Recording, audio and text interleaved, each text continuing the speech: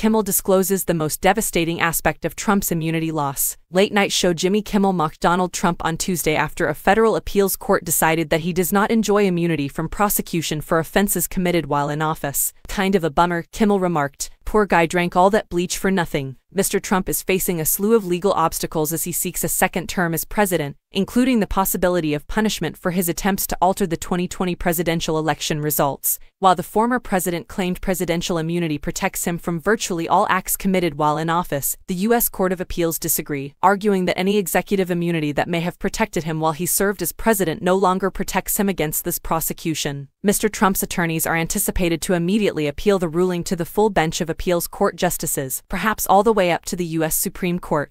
But Mr. Kimmel believes the news would have been devastating for the former president.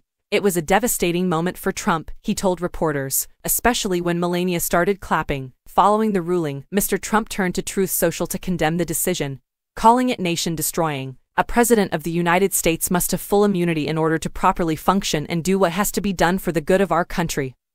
He stated in the letter, this nation-destroying ruling cannot survive. If not overturned, as it should be, this decision would severely harm not only the presidency, but also the life, breath, and success of our country, he warned. He further stated that without immunity, every president who leaves office will be immediately indicted by the opposing party. Without complete immunity, a president of the United States would be unable to perform properly.